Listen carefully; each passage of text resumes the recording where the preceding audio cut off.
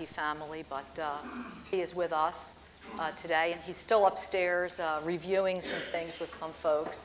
Uh, also, Mr. Larry Wilson joined us. Uh, many of you know Larry Wilson. He is uh, someone else who's been with DLA for many years, and he is heading up the infrastructure area at headquarters. And he's the guy who works with all of the field activities on the IOP and makes things happen from a uh, supply center perspective and make sure that we're all singing from the same sheet of music.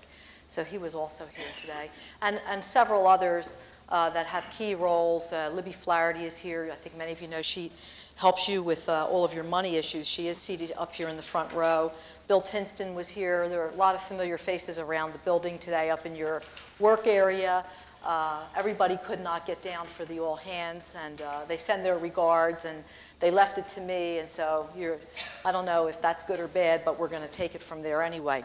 So um, if we could go to the next slide, I want to uh, tell you a little bit about uh, what I'm going to cover. I'm going to go back and review with you the same presentation that I gave at Admiral Lippert's most recent Senior Leaders Conference. And uh, this is important because I want for you to see not only uh, what I present to Admiral Lippert, but I want for you to see what an important part you play in the things that I am reporting back to the enterprise, the corporate board, Admiral Lippert, et cetera. So you'll see exactly what it was presented. Now, what you won't get to see is the way that it was presented because it was a three-part show I did part of it, Ted Case did part of it, and the other uh, senior executive in J6, Dave Falvey, uh, who you've all seen before at uh, BSM Roadshows, did part of it. So I will probably speed through a portion of it so that you don't uh, uh, have to sit and listen to me brief a bunch of charts. I want to get to your questions. But I am going to run through it. And uh, it's all going to be made available it has been up on the J6 website, and I also understand from Bruce that this is being taped. Uh, so you're always free to ask questions and email us if there's anything that you didn't quite understand or you want more information on. Uh, then I'm going to just cover quickly some headquarters interest items. And uh, this is uh, patterned after the town hall that I give also at the headquarters for all of the folks that are there on the J6 staff. And so uh, I will also tailor that a bit because you don't have the same level of interest in what goes on at the headquarters that they do, you know, because you are where you live. Uh, so uh, I will probably scale some of that back. Uh, then I'll talk a little bit about what's going on inside of J6, and then we'll close with some Q&A. Uh, and uh, at any time, if I am either you don't, you can't hear me, or I'm going too quickly, uh, please stop me and slow me down, but I would ask that we, we hold questions until the end. Uh, so with that, if we could go to the next slide.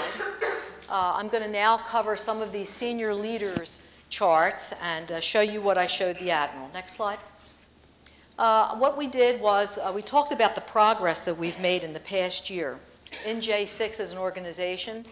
We covered current initiatives, both from a programmatic sense and from a technology sense, and then we took a quick look ahead.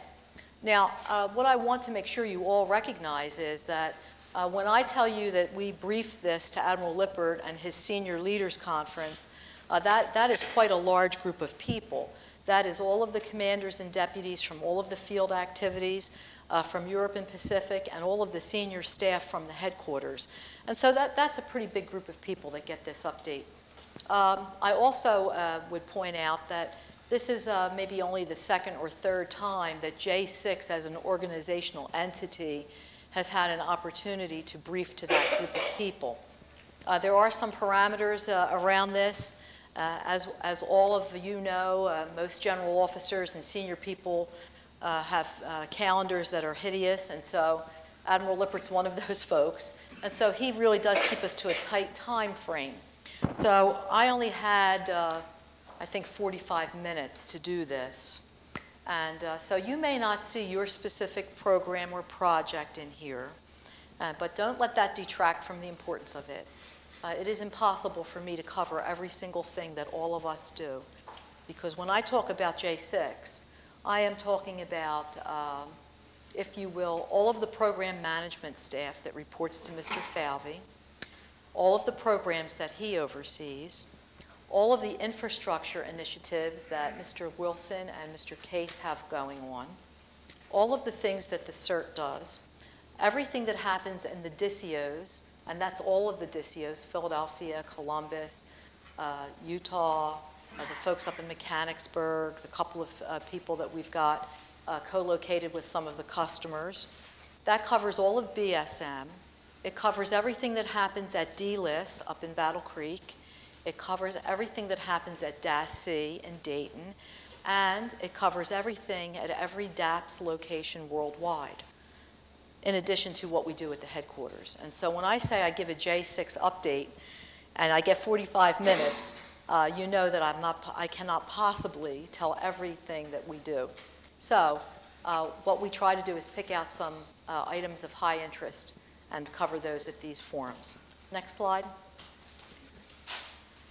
I always like to repeat what I believe our primary role is whenever we have a large group of people together because there's always a few new general officers and new senior executives in that crowd. And so it's always a good time to sort of do a, a review of who we are and what we do with them. Uh, our primary role in J6 is to deliver IT capabilities in support of mission needs, clear and simple, straightforward, bottom line. Um, that involves all of the things that are listed above that. It means uh, working with all of the uh, functionals uh, to make sure that we're delivering their requirements to them. It means setting a strategic direction for IT for the agency. It means leading the community of IT professionals, shaping the IT culture, which I'm going to talk a lot about today. Managing the IT portfolio, I do have a slide on that, and if you've been in any of these town halls with me before, you know that I'm going to state some astronomical numbers uh, in terms of dollars that we spend on information technology annually. Uh, we also uh, see as our charge to train and oversee program managers who have uh, their discipline in uh, uh, information technology and representing DLA to the IT community beyond our gates, and that is largely the job of myself and uh, Mr. Falvey and Mr. Case, and the headquarters staff that uh, attend a lot of the OSD meetings where policy is set and other uh, things go on. And we also have an enterprise e-business role uh, from the community perspective, meaning we do a lot of e-business services for the DoD, uh, going beyond just what we do for our own agency. Next slide. Thank you. Uh, when we stood up uh, uh, the J6, you may all recall that we went through something called DLA 21. And it was a pretty significant reorganization in terms of the way we realigned the entire agency uh, to meet the needs and the changing requirements of the warfighter. And we did it to align with Joint Vision 2010 and some other very strategic um, thinking that was happening that, at that time in the department. And what we really uh, wanted to focus on was uh, getting into more of an operational role and getting away from a division between staff people and operational people and trying to bring everyone into uh, more of an operational environment. And we're going to talk about that a little bit today. Uh, when we did that, uh, it was not easy. And so uh, to, in order to ease this transition, the executives got together and said, we need to come up with some tenets, if you will, some rules by which we will live, some beliefs that we all can sign up to relative to what each of these major codes will do. So for each of the big major codes, J1, J3, J6, J8, we came up with the tenets by which we all were willing and able to operate. And for IT, these are just the highlights. And so the very first one says that the current operation is our number one priority. There are parts of J6 where that's not news. If you go and you talk to the people that work the CERT desk, if you go and you talk to the guys at DASC, if you go and you speak to some of the uh, people at DAPS, that they are in an operational mode day to day. And so this didn't come as any surprise to them. But for others among us, uh, this was a little a bit different than what they were uh, accustomed to. And certainly, I will tell you from my personal experience, this was a complete change for the headquarters staff, who for many years uh, focused on writing policy and procedure and really were not involved in the day-to-day operation of this organization. And so uh, this has changed, and uh, Mr. Jarvis and I have had several uh, very good conversations over the past couple of days relative to what that means to DISIO. And so we're going to talk about that. Uh, everything we do in IT needs to be driven by the mission need. Uh, I have a little saying that a lot of people like to quote. I guess it's cute. Uh, but that is, we are not here to do science projects. Um, most, if not all of us, have a very, very strong foundation, whether it is a formal education or it came from a lot of on-the-job experience, but we have a great love for technology. We have a great love for the bits and the bytes. We are fascinated with things. My husband is always amazed at how long I can actually fool around with some little electronic device and, and be completely fascinated and not be paying the least bit of attention to something that might be on fire on the stove because I just got a new handheld device and I want to set it up. Or I'm doing a wireless LAN in my house and I, you know, uh, someone's ringing the doorbell and I'm oblivious to it. And so we all have a tendency to be that way. And what we need to guard against as a community is to uh, not let that get in the way of paying attention to what our customer needs and what the mission requires and delivering the capabilities that they set forth. And so uh, I want to uh, explain that. And I have not uh, found that so much to be the case in the DISIO community. But in other parts of our organization, I have uncovered uh, a number of interesting uh, science projects, which we've uh, had to put an end to because they're really not delivering a lot of value back to the organization.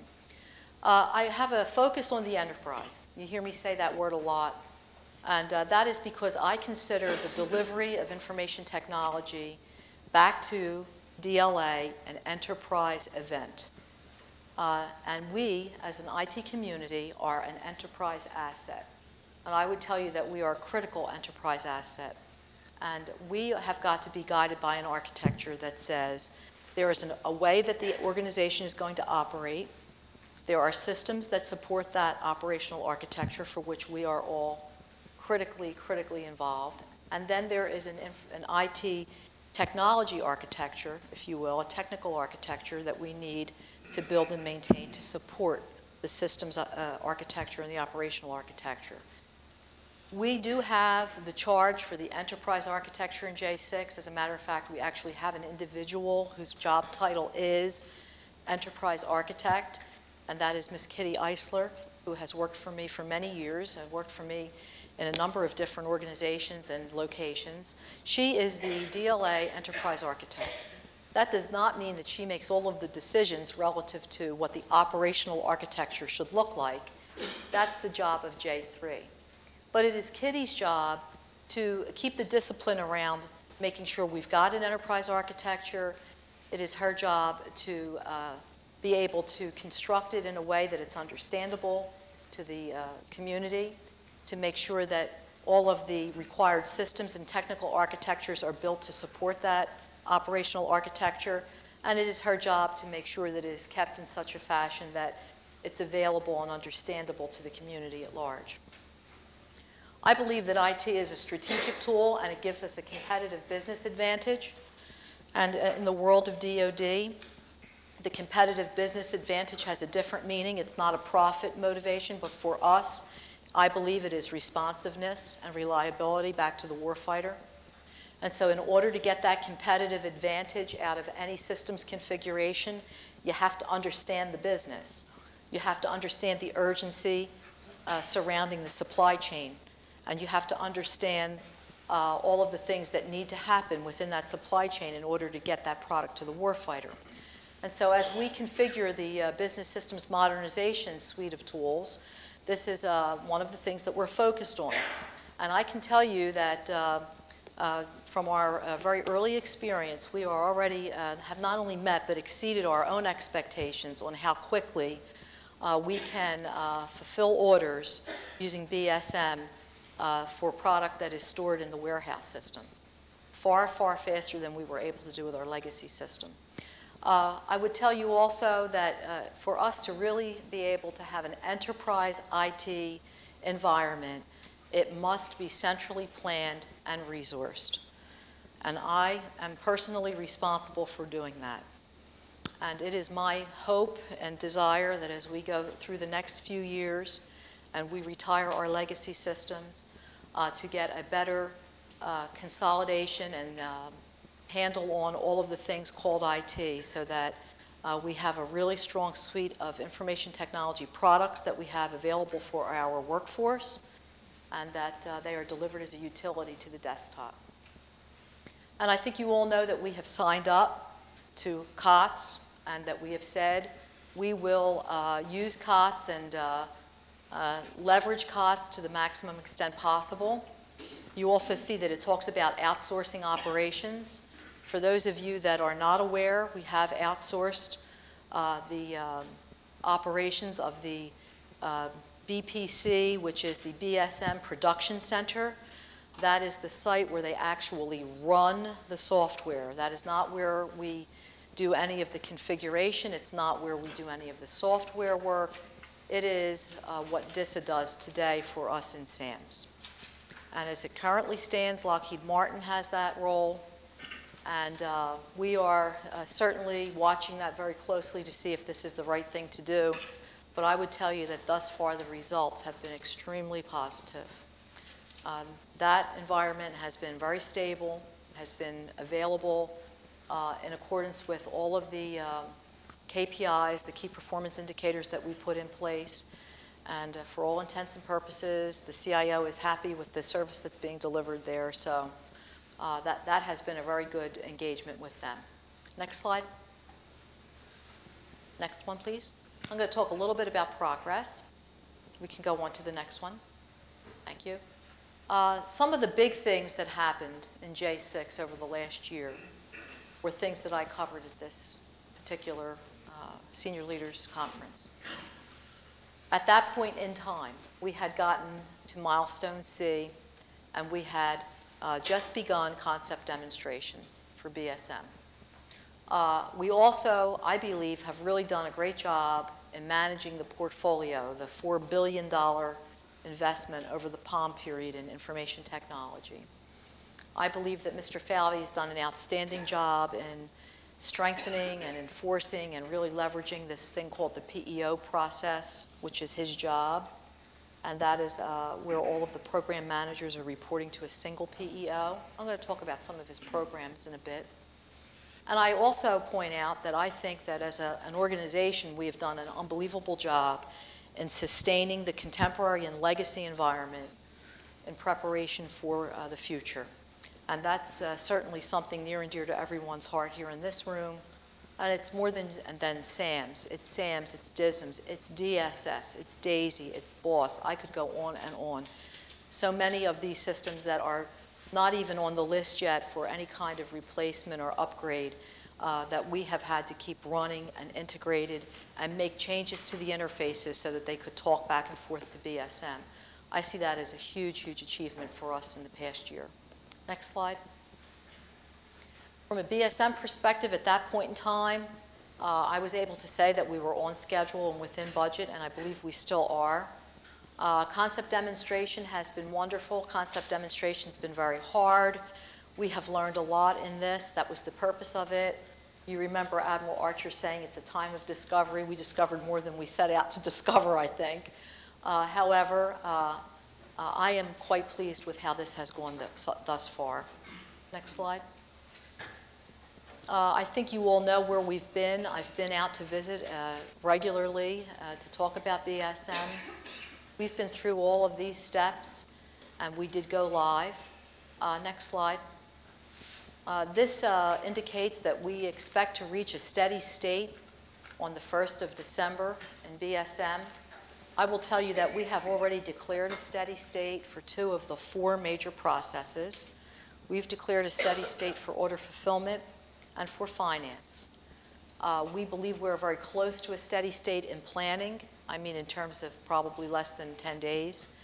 And procurement has become the, the uh, most difficult uh, part of this equation, and uh, we do not think that we will be able to really have a forecast on a steady state there until the 15th of December, roughly, maybe longer than that.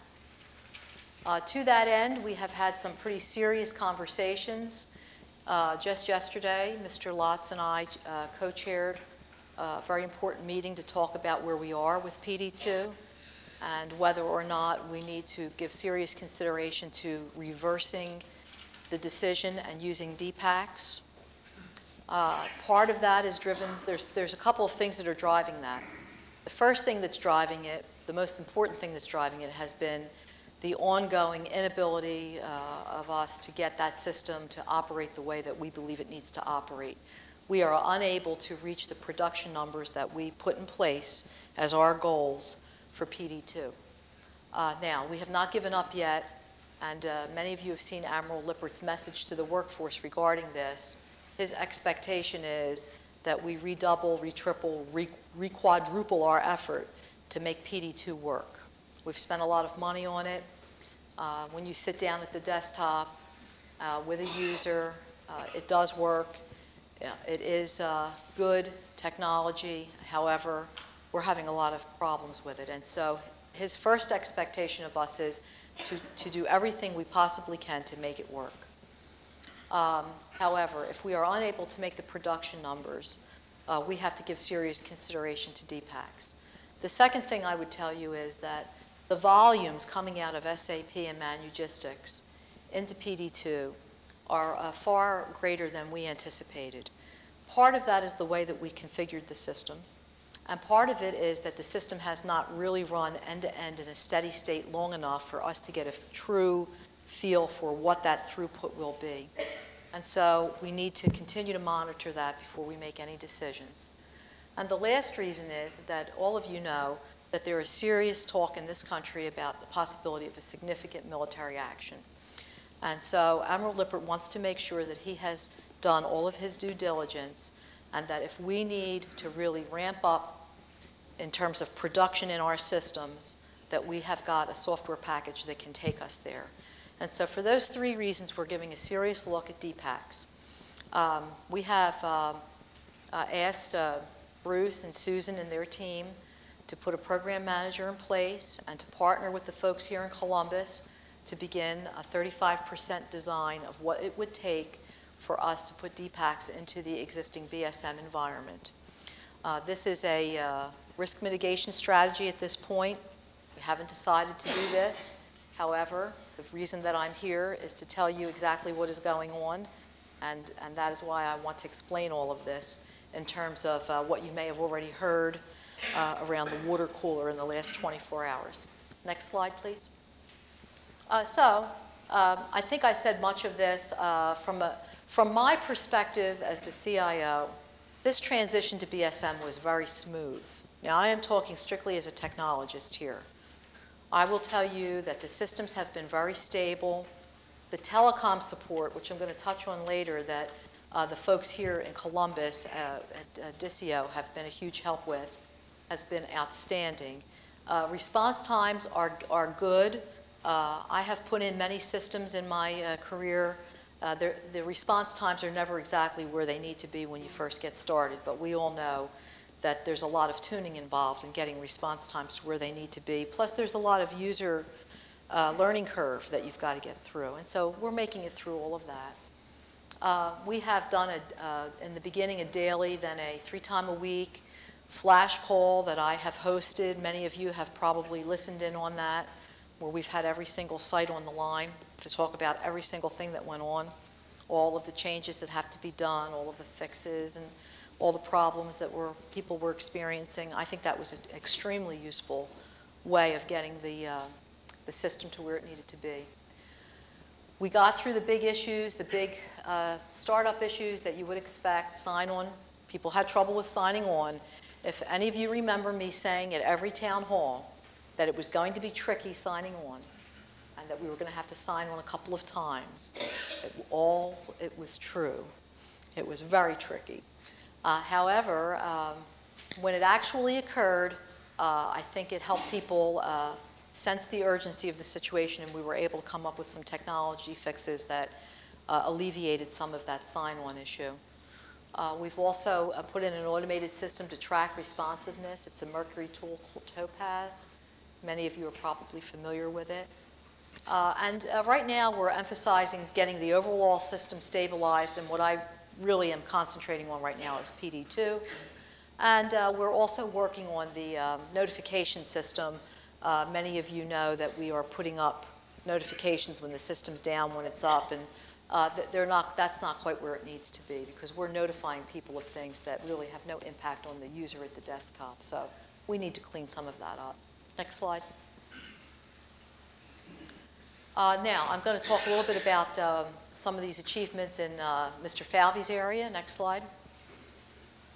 Uh, Here it is, the famous chart that you always see me show, uh, just to remind you that if you thought uh, DLA wasn't still serious about IT, uh, well, when you sp- spend $4 billion over the POM period, you're spending it on something. And so those are the numbers. Um, I'm also happy to say that uh, Mr. Case was able to deliver some savings in the past year uh, through some pretty smart uh, technology uh, uh, strategies that he's been able to put out for the out years. And so uh, there is the number. We're slightly now under that $4 billion mark. That's a good thing. Makes Admiral Lippert very happy when we spend less money. But just to drive home just how big the information technology world is at DLA, the numbers are still very significant. And the colors do have meaning. Uh, You can see that the uh, business systems modernization portfolio is uh, the lower one. Uh, The center one is e-business. It is the smallest of the three. And infrastructure continues to be the biggest investment that we make. And I believe that it is somewhere in the neighborhood of 54 to 56 percent of our overall spending annually is on infrastructure. And that is everything. I account for everything from what we spend with uh, DISA to what we spend with Lockheed Martin to what we spend on the mid-tiers that run at all of the ICPs to what we're spending on uh, laptops, desktops, printers, peripherals, et cetera. Next slide. Now, I will tell you that there is a process in place. I won't linger here. This is very exciting for people that work for the comptroller or people that work POM issues, but we have a pretty structured process in place uh, that helps us get through uh, getting things into the IT POM and getting me to the point where I get up at that sometime around the April-May timeframe and tell Admiral Lippert what I need to spend over the next four or five years. And this is the process that is in place. Last year, because of this process, you can see that we started out with them wanting me to go forward and make a report of some number uh, around the, I guess that's, I can't see even with my glasses, but it looks like uh, $3 million. I don't know if that's a comma or a period. And when we fought, we came in with zero growth. And so we started out going back to the boss saying, sir, we're going to spend, we think we need to spend uh, um, hundreds of millions of dollars more than we have in the past. And after we finished going through this process, we were able to go back to him and say, sir, we don't think we need any extra money. We've made trade-offs within the portfolios to cover all of our new starts. Next slide. Uh, Emerging systems, the province of Mr. Falvey. Uh, He oversees all of this. This is my previous position. This is probably one of the best jobs in the agency. I, I really enjoyed doing this job. Um, He has uh, oversight of all of our major systems, and uh, his job is to not only make sure that the program managers are delivering their programs in accordance with cost, schedule, and performance, he also has the job of synchronizing all of those programs across the agency. And so uh, he has all of the uh, big programs reporting to him. He reports to me on a regular basis uh, on the status of those. And via the balanced scorecard, he reports back to the agency as a whole on the status of all of these. Uh, let's go to the next slide. He also has a program underway for training new program and project managers, and this has been wildly successful. When he and I showed up on the scene, uh, I guess around 1997 or 1998, I think he and I were the only two people qualified to do this kind of job at the, at the thresholds that we were looking at. And uh, he and I have successfully gotten a pretty good cadre of people trained and ready, and we continue to do that. I know some of you uh, have attended uh, some of these conferences, And the game plan here is to identify the people that need to be trained at the various levels and uh, to start out by trying to get as many people as we can through Acquisition 101, which is available online. And for people that are interested, I have absolutely, there is no reason, there is nothing holding any specific individual back from taking that. We do prioritize people that are in jobs that need it, need to go get it first. Uh, but uh, anyone who's interested is uh, able to take that training. Uh, from there, you go to Acquisition 201. That's a little bit of a more difficult thing to get scheduled and for us to get people into. And once we get past that, there's a level three requirement that used to be a 14-week course. Uh, it is a long, drawn-out affair. It is for people that are really managing uh, major, major programs the size of like a BSM, 750 million, or a FAST, or something of that nature. Those program managers have to take that course. Next slide. Uh, now I'm going to talk a little bit about things that we've done to keep uh, the engines running while everybody else is off uh, cooking up new things. Next slide.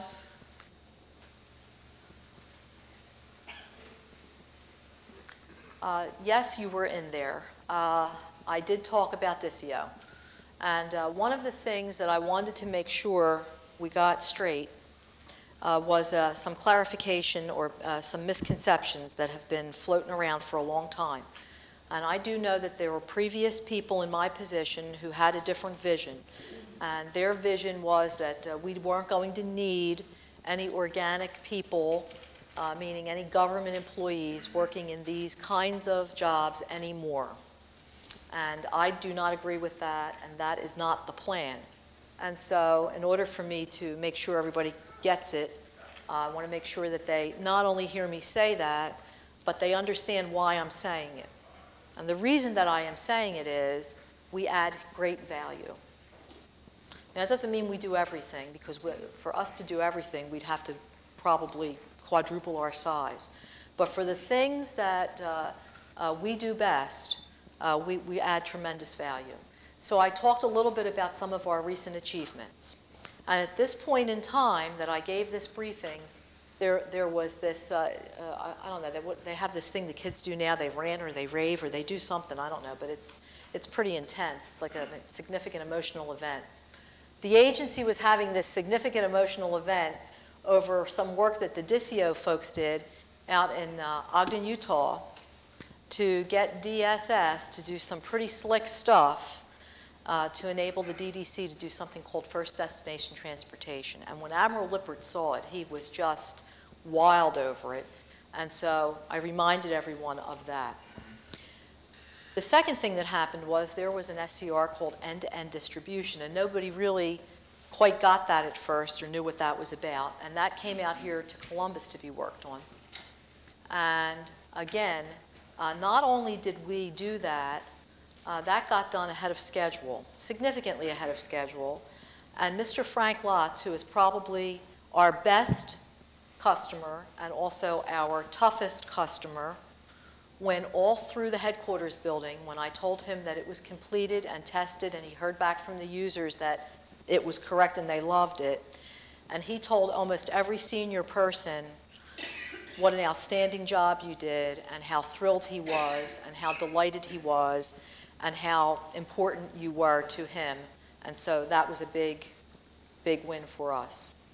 The folks in Philadelphia also had their moment in the sun. They did something called favors modernization, I got a little offended when they told me about this because I wrote favors, and I guess when people start telling you that they have to modernize something that you did, you know you're getting old.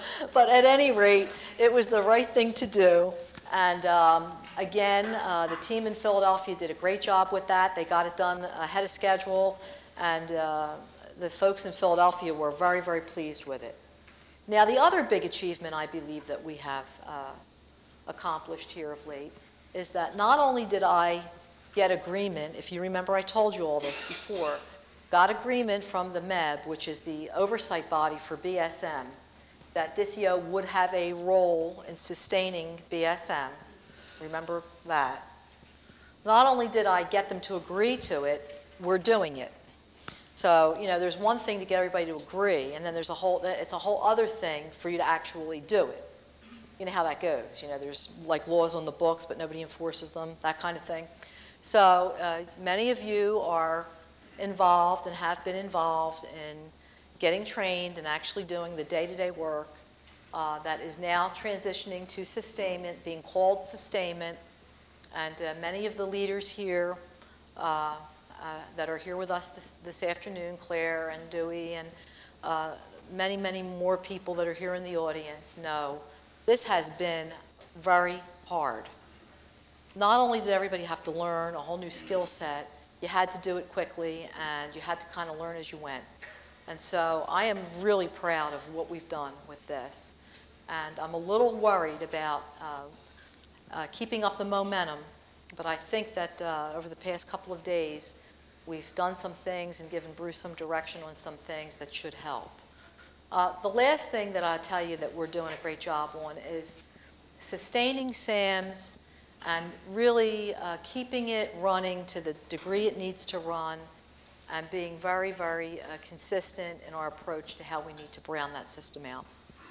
And so to me, these are huge achievements, uh, and there are many, many, many more. As a matter of fact, I have a two-page list of things uh, that, that I was able to come up with that happened right here at this DISIO location in the past year that you should all be very, very proud of. But uh, I selected these because this group of people all knew what these were. And so uh, when you're able to put them up with a map and say, you know, every one of those locations delivered one of these huge success stories back to the customer, that's a very powerful thing to be able to tell them. Now, this transition of the staff has been tough, as I said, but we are going to press on. And one of the things that I have uh, impressed, I hope, upon the senior leaders here in this DCO, and that I've been out across the, the entire organization saying is, one of the things we must absolutely cultivate quickly, if we haven't already, and I know many of you have, is a sense of absolute urgency. One of the biggest criticisms that I get as I speak to other people who want to be candid with me, that's always dangerous.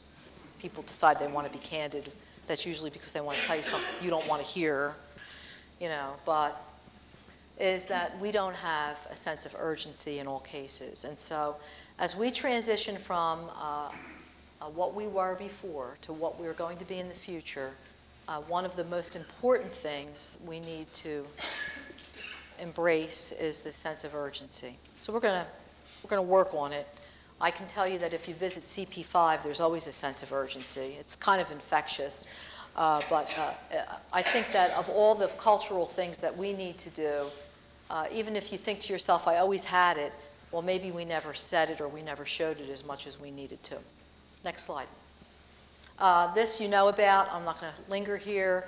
This is still the schedule. Now, last year we didn't even do as much in SAMMS maintenance as we signed up to do. And I expect the same thing is going to happen this year. So we'll see how this goes. But uh, there's also talk here recently of uh, browning out DISMS. That's another little sling to my heart because I was the DISMS, uh, I, I, was a DISMS person in the beginning and worked on the procurement uh, system. And then I was the DISMs program manager. And uh, by way of some interesting little background, that is where I met my husband. And he stayed on in DISMS for many years after I left. And uh, we are now talking about uh, taking DISMS down in the next 12 months. And so as if that didn't sort of, you know, give me that little twinge enough, they also decided that the first person they're putting in to look at this and uh, lead the charge is my husband. so uh, that's two of us that are getting a little twinge. But uh, uh, I would, uh, the, the plan as it stands right now is to take a real hard look at retiring DISMS well in advance of retiring SAMMS. Next slide. Next slide. I'm not going to even talk about this. For those of you that know Dave Falvey, you know this is a Falvey chart. Uh, this is one of his architecture uh, charts. He uses this to explain to people what he means by architecture. Um, he has done more thinking on this than probably anyone uh, else in the whole organization, and it's a good thing because Dave is a very a cogent person who puts things down and tries to make sense of them all, and we need for someone to do that. Um, But that is pretty much the lineup of all of the big initiatives and programs that are underway in the agency right now from an IT perspective. Next slide. He talked about BSM. I'm not going to linger on this. This just gives you a pretty good idea, though, of what kind of updates he gives back to me and to the uh, corporation. He uses these, what he calls quadrant charts, and he always shows the stoplights for cost schedule performance. He always shows what his upcoming critical tasks are from his plan of action and milestones. He always shows what the current status is, and he always talks about issues. Next slide. He does the same thing for the fuels automated system. Many of you know that's the energy system. That's the equivalent of BSM, roughly equivalent, uh, that we will also be taking down DFAMS, that our uh, DCO uh, contingent that uh, works on that is in the throes of doing very much what we're doing here. Some people work on FAST, some people are sustaining DFAMS. We're headed out to the future, uh, and they've got that pretty well under control. Next slide. CRM, Customer Relationship Management. Brand new program, uh, has a yellow on schedule because we had a small slip in the beginning. This is not unusual. Uh, more to come on this. I would tell you that uh, uh in the next year we should see contracts awarded and people on board helping us figure out what we want our business process to be in support of doing CRM. Uh, from an IT perspective, it calls into question whether we'll continue with Support Magic as the tool at the help desks and some other um, integration questions relative to BSM, but this is a very new uh, program. Next slide. Knowledge management, also very new. Rex McHale is the uh, program manager for this at headquarters. Uh, this is uh, right now focused on um, employee services. And we're going to have a pilot up in the headquarters in December. And when this is finally uh, delivered, what you will be able to use this for is things such as um, one-stop shopping to look at the balance scorecard, to look at uh, one book, to look at a community of practice. Uh, I would think that, you know, the, the uh, IT community would probably form a community of practice where we would have our own area, where we would be able to have subject matter experts that publish on certain subjects and put it up there for everybody to read it. Uh, you would, we will also put access to things there like all of your uh, employee services so that you would be able to use this tool to go out and look at your personnel folder, to change your health benefits plan, things of that nature. Next slide. DPMS is Distribution Planning and Management System. It is um, uh, leveraging some of the uh, capabilities that we saw as we blueprinted BSM in the uh, Advanced Planning and Scheduling tool. Again, this is uh, still pretty uh, much in its infancy, although uh, ahead of the others that I mentioned. And the group of people that this will deliver capability to is largely the DDC. Next slide. IDE, Integrated Data Environment. Many of you are aware of this. Mr. Paul Peters has been out to talk to folks about it. Uh, I would tell you that this is the modernization uh, and digitization of the current environment that we call MILS and uh, some of the other things that uh, one would uh, think about when you, when you think about the DoD community at large and what the MILS environment really seeks to do. It seeks to make us interoperable. It seeks to give all of the DoD players a single point of uh, reachback capability to authoritative records and sources of information. And so IDE is the uh, program that modernizes uh, all of the uh, processes and technologies that uh, the DAASC uses, uh, many of the things that DLIS does, and some of the interfaces uh, in BSM will reside here and all of the reachback capability that tools like JTAV require. This is a big program. It is uh, very technically oriented, uh, and uh, it is the, really uh, one of the most important underlying programs to making all of the rest of the modernization efforts successful. Next slide. Next slide. Now we'll talk about little of technology. I talked about architecture, different drawings, same idea. Next slide. This is a big deal. This is something that uh, you all here in Columbus have helped with immensely. This is called Enterprise Telecom Network. This, this is part of what I'm talking about when I say we need to become more operational. It's also uh, a huge, huge partnership between us and DISA on network operations. Uh, we have uh, a deal uh, that we have brokered with them uh, that allows for us to share in a network operations center so that we have visibility, the same visibility that they have over our network.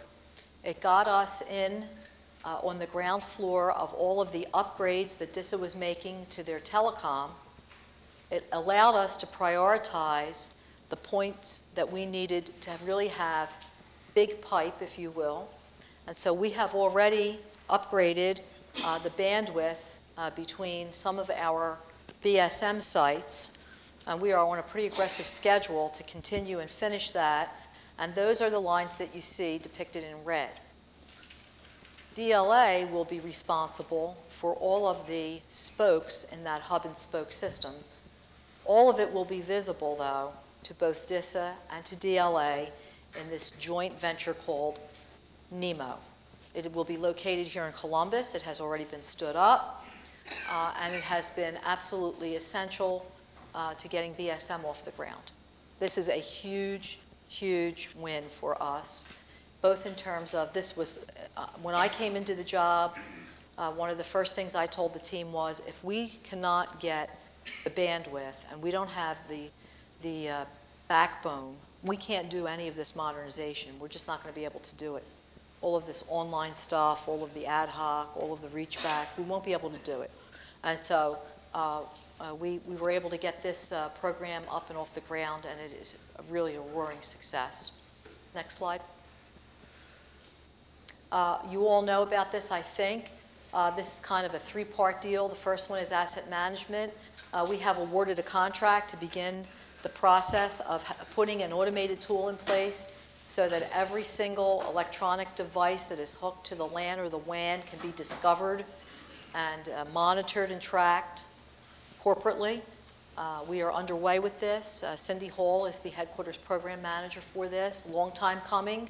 We've got the DoD CIO watching this very carefully to see if it's a success or not, because you know if it is, uh, they will want to leverage this uh, department-wide. Uh, we also are in the midst of upgrading our uh, Microsoft platforms. Uh, we want to get to the point where we have got Active Directory out to everybody. Uh, unfortunately, one of our own internal organizations has had some problems in getting there, and we've had to extend the schedule on this a bit, and that's DAPS. All of you know they've gone through an A76, and so you can imagine uh, that uh, getting to uh, this Windows 2000 has not been easy for them because they've had to rewicker their whole schedule based on their most efficient organization. Uh, the other thing that we are uh, headed for is global email. Uh, the plan is to migrate from all of these uh, servers all over the place and consolidate these servers in one location and to go to one email system and to change the naming convention so that everyone in the agency has the same naming convention and you don't have to know someone's geographic location to send them email. So in this scenario, I will just be mae.devincentis at dla.mil. And the rest of you will all have the same naming convention. Next slide. Uh, I talked a little bit about the, the uh, Business Processing Center in uh, Denver, which is the site that is now processing all of the BSM work. There's also something coming down the pike, which is uh, the next step, which is called Enterprise Data Center. And this is uh, an initiative to consolidate all of the mid-tier servers across the agency, all of the things that are not in the demilitarized zone that this is going to run for us, which is all of our business uh, critical applications that we need to be able to get out there when Port 80 gets closed down. Um, and uh, we will have a complete backup and recovery uh, strategy to accompany this. Uh, EDC is also uh, uh, in the planning stages. Uh, the expectation right now is that we will get an RFQ out in the next 60 days and uh, begin the planning process for this. Uh, the, the, savings associated with this are very significant. And when we talk about servers and pieces of equipment, I don't have the numbers with me, but when I saw it, I, I I knew that the numbers were big, but when I actually got the counts, the numbers were, were astronomical. Uh, So we have got, you know, every single site in the agency with their own uh, boxes and their own platforms, and uh, then, of course, all of the, the people who contract stuff out, and the numbers are quite large. So uh, a consolidation effort here and a streamlining effort here will, will give the uh, agency a lot of savings. Next slide. I mentioned DMZ. This is a big uh, boon, both to information assurance and, more importantly, to the continuity of business operations. This is a, an attempt on our part to uh, get ourselves in a situation where we never get taken out of business again by a Port 80 closer, closure. You may remember the red worm when that virus was running amok. DISA took down uh, Port 80, which is our access from the NIPRNet out to the internet. It virtually shut us down from a business perspective. Uh, we had many conversations with them, uh, explained to them that we have an absolute requirement to have our websites up uh, for business critical applications like procurement gateway and DIBBS and all of the things that uh, the, the disposal people do and reverse auctioning and the fast people. So uh, we came up with a prioritized list of 32 websites, and uh, this again is ahead of schedule. And uh, we now are moving the sites in there and taking down uh, their uh, direct connections, and uh, everything else will go behind the DLA firewall. This is also a big deal from an information assurance perspective. We spend a fortune on intrusion detection and all of the IAVAs and all of the patches that every single person has to put in because we've got all these doors open to the internet. And so this will uh, resolve a lot of that. Next slide. Uh, enterprise contracts, I won't go into the details.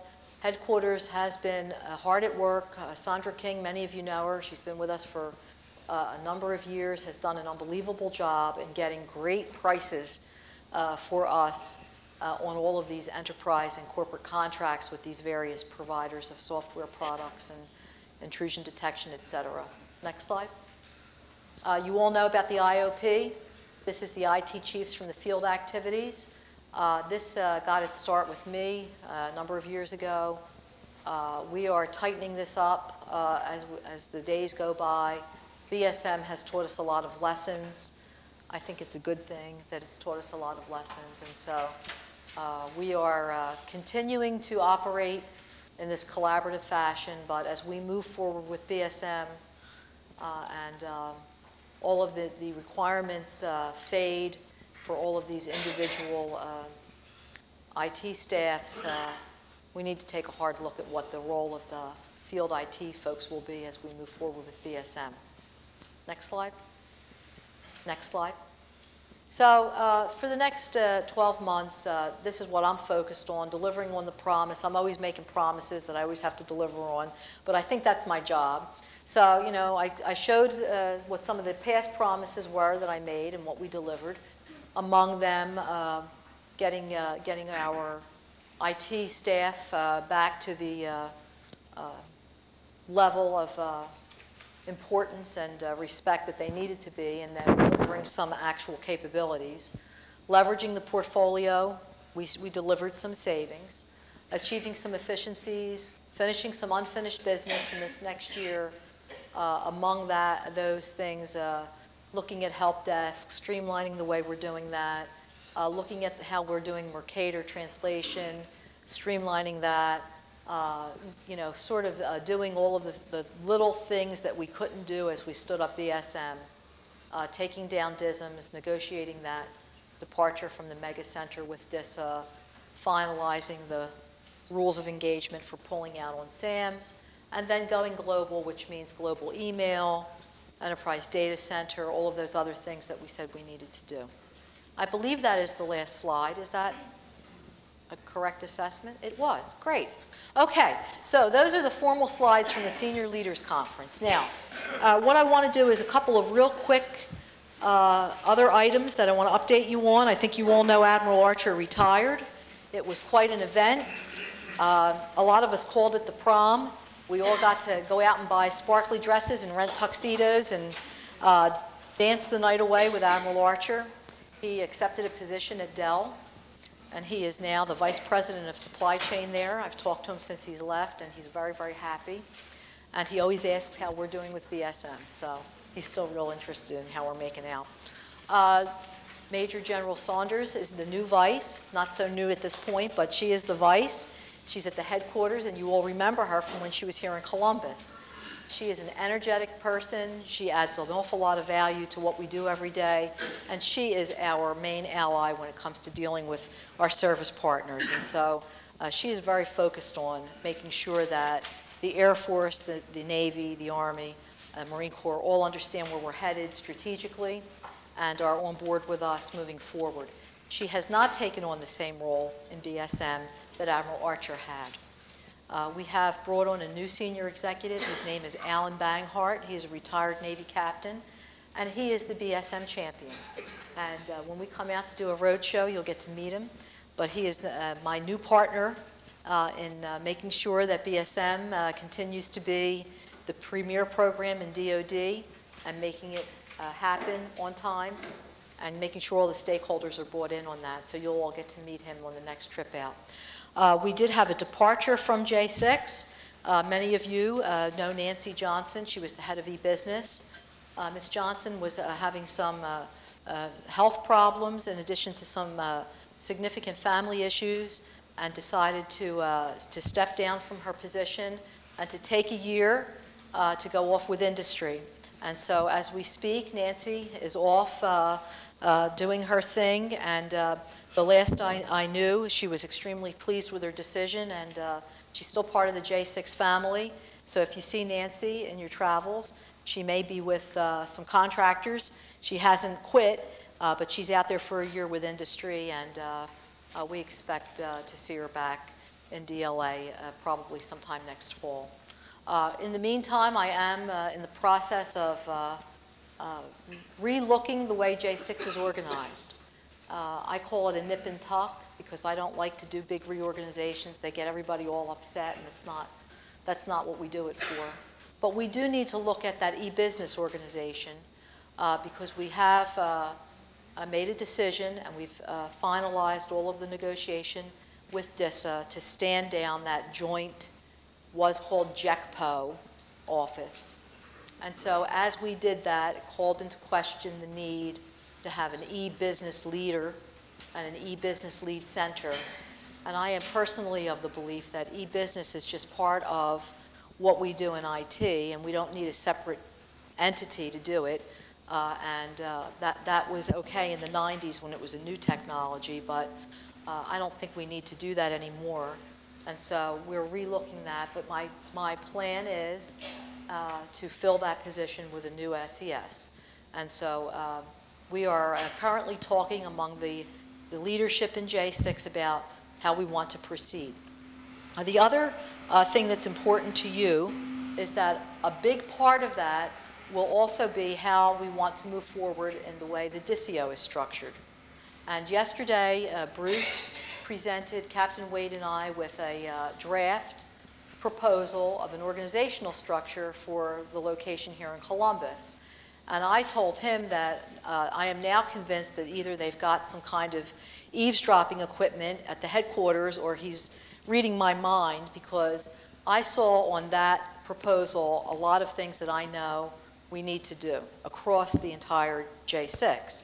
So for starters, they are, we need to do a better job of getting closer to the customer and of helping the customer figure out what their real requirement is. Well, it's something we've done really well in the past uh, through all of the changes and all of the things that have gone on. I think we've uh, lost our emphasis there. And so we need to look at how we want to revive that and do a better job. Customer touch overall is something that we really need to do. We need to do it better. And so I saw something that addressed that, which I, I think is, uh, again, uh, reading my mind, because it, it, in the headquarters, we also need to have a group that puts that process in place for you so that you've got the template to follow. Uh, I also uh, am concerned about uh, making sure that we are more focused on the day-to-day -day operation. And lo and behold, uh, there's Bruce with a, an organization that is focused on operations. And so, uh, again, uh, I think he's, uh, he's hitting uh, real close to what, what it is we're thinking at headquarters on how we need to look. Uh, So what, what I uh, have told Bruce is, I feel that just looking at it and talking through it with him, we're about 85% of the way there. I think that what Bruce presented is probably 85% of what you're going to see in its final form. And so I told him that he can release that for everybody to take a look at, and call it a draft, but um, I, I think that uh, it's, it's all the right stuff, all the things that we all know we really need to do, so that uh, you all here can see it and start to internalize it a little bit and think about it. Uh, I would say that there's some new things there that uh, we probably didn't do before, and we've shed ourselves of some things that we used to do that we don't need to do anymore. Uh, But the, the bottom line of it is, uh, it is an alignment to the new business. It is an alignment that gets us more uh, in line with DLA's strategy, and I think it's, uh, he's got just about all of the things in there that we really want to be able to do. Uh, I want to make sure, from my perspective, that it's aligned to what we do in J6. And so I asked him to put it out in draft and to give us uh, another uh, couple of uh, 30 to 45 days to walk through the rest of it, because I am looking at the bigger J6 when I look at this. And so uh, even though he's got something that's really probably uh, close for here, I want to make sure that it's what we need to do across the board, that the other DCOs get to take a look, and that it fits in with the headquarters structure, the way that we are moving forward. Uh, So uh, that's the good news on that. Uh, I don't, uh, looking at that proposal, I saw only good things. I saw only uh, a bright future for the organization, and uh, as far as I am concerned, uh, we do have a bright future, a lot brighter than I would have thought uh, a few years ago. Uh, To that end, as I said earlier with another group, uh, I am the first person that will take your achievements and go around the organization and show everyone what a great job we're doing. And that's what I'm supposed to do. Uh, But uh, you're only as good as your last act. And I tell you that uh, when we cross that line from being a software development organization to uh, being more of an operational entity, to being a lot more uh, responsive, to, because we've got these COTS tools in place, and so we don't have these long development and delivery cycles that we used to have. To being called upon uh, to come up with some very, very quick assessments of uh, helping uh, with the procurement solution, for example. We've got to uh, get across this sense of urgency to the customer. We have to understand the customer, and we have to begin to operate uh, in a much more uh, responsive, proactive mode than we're used to. And this, this is going to be a, a little bit of a uh, challenge because uh, I come from the same background, and that was not our focus for a long, long time. But as we move forward, it needs to be. And this is not the only DISIO group that's faced with the same thing. I'm headed up uh, soon to Philadelphia, to my old stomping grounds. We've given them a lot of web work. Talk about quick turnaround. You know, the customer is quick to say, I can contract this out and get it done in 24 hours. Now, will it be secure? Will it meet all of the requirements? You know, we could all go down the list of things. But when we give them back an estimate that's weeks, months to develop something, we turn them off. So um, I've uh, talked with Bruce, and uh, I think that, that he's, he understands where we need to head from here. But I also expect it to be uh, a little bit of a uh, change management issue for us, but I think we, we can do it. So I don't think I've overlooked anything. Uh, I do have uh, someone who works with me whose name is Steve Shertock, who a lot of you may remember when he was Captain Shertock. And he and I both worked together for uh, Admiral Straw. And he has uh, returned to work with me after being gone for many, many, many years. And he went with Admiral Straw to Ryder, and he went with him to Compaq, and he was getting ready to go with him to Estee Lauder, and through some miracle, I snagged him. And so he gets me ready for these town halls with all these notes so that I don't forget to tell you anything that, that's important. And so I'm just glancing through here. Uh, Back when I did this, the first go-round, there was some talk or some fear in the agency that um, there was a study being done to combine us with Transcom. That has been resolved. And uh, that was just reported out la- last week, and that has uh, been taken off the table. There will be no combining or consolidating or mergers or acquisitions between DLA and Transcom. We have agreed to work with them and collaborate with them and partner with them and do all of those things that we are really very, very good at, but we will not be combining with them. And so if you were concerned about that, you can probably uh, tell your friends when you get back that, that that's been taken care of. And so I do believe that I have covered everything that you need to hear. So what I'd like to do, unless Captain Waite or Mr. Kimberly have something that I think I overlooked, is to open this to some Q&A, if I could. So if you have any questions for me, ask them now. This must have been very thorough. You tell Shertock what a good job he did. And You don't have a single question. Nobody's worried about a RIF. Nobody's worried, none of you are worried that somehow.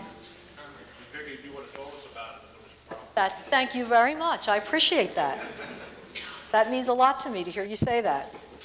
Uh, I, you know, I cannot uh, make promises in terms of what the future is going to be, uh, because none of us can. You know, the world changes too quickly.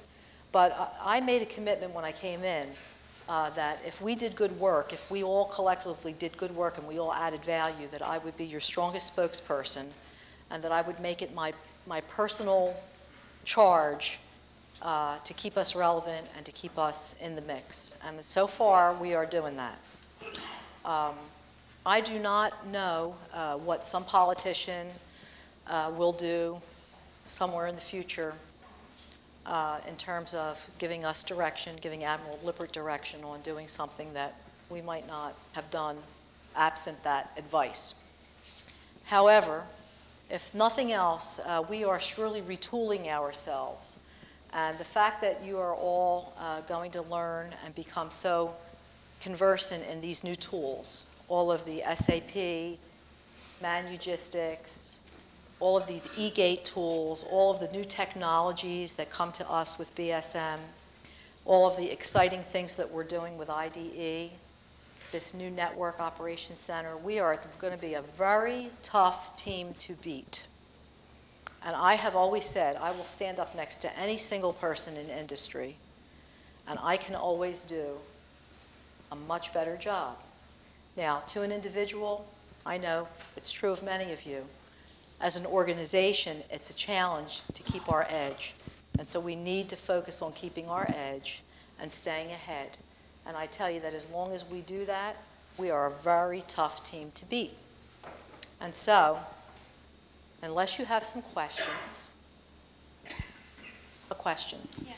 Um, Here at the uh, DISA Mega Center, um, there have been some people talking about how they're going to be closing the center down. It's migrating to another data center. And I was just wondering, how is that going to affect um, DLA and some of the legacy I'm glad you asked me that because I heard that too, and I, Some of our plans, you know, I made them all laugh this morning because I said that I heard that in the halls while I was here.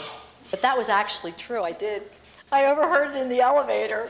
Um, so uh, I think it is still uh, a strong rumor.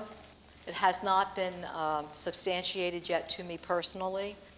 Um, I do know that this has been taking a hard look at how they are organized and how many uh, centers they operate and whether or not it is the most cost-effective model for them.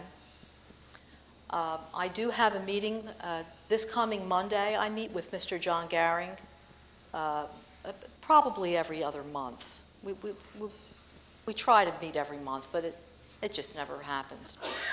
And I think that he will probably tell me more when I see him. My guess is there's some truth to it. All rumors have some truth to them. Uh, I I can't speak uh, on behalf of DISA. I will tell you this. Uh, Whatever they do, we will do whatever we have to do to support them. Uh, If they uh, decide uh, to take the DECC uh, and move that work around, I am sure they'll do it uh, with us, and they will make, and they will ensure that it's a smooth transition. Uh, If it is a bumpy ride, uh, we've been on bumpy rides before, we can handle it. Uh, But as it stands right now, I don't know any more than what I have heard here in the halls about this. And so uh, what I will do is, if I get some, some news on this uh, from John on Monday, I will make sure that Captain Waite uh, gets that out to everyone so that everybody knows specifically uh, what the story is and what the impact, if any, is on us. I had also heard that, that if they did this, there would be no impact on the network operations that is uh, here, that we have co-located with those folks. And so uh, we, I guess we'll have to wait and find out what, what the truth of it all is, but that is really the best I can do right now. Okay, does anyone else have any other questions? No? Great. Thank you all for coming. I really appreciate it. I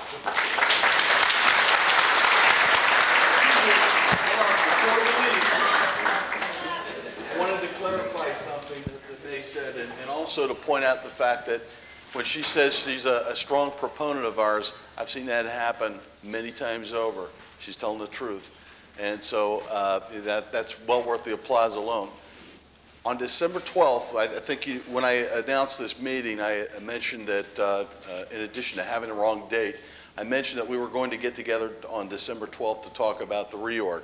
At that time that I announced that, I I hadn't really spoken to Mae, um, and I hadn't got that feedback that I needed to say, you know, whether we were on the right track or not. Her comments pointed out that, yes, we we uh, we guessed right, uh, we did our homework, and that we're on the right track, but there are probably going to be some tweaks. Rather than share that information with you in a, in a written form where a lot of the context is not there, I would prefer to wait until December 12th, and, uh, and that way you get it in the full context that it was meant uh, to be given in. I don't believe it would make sense otherwise. So, thank you very much for your time, and, and Mae, thank you for coming to Columbus.